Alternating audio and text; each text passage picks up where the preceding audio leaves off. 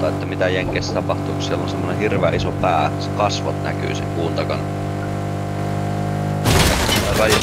Aha, on paha paikka. Otas. Tippu vai?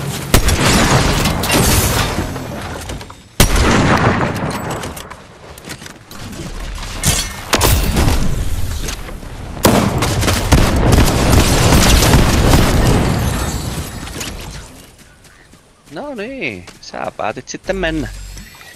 Etteis kysynyt, että mennäänkö.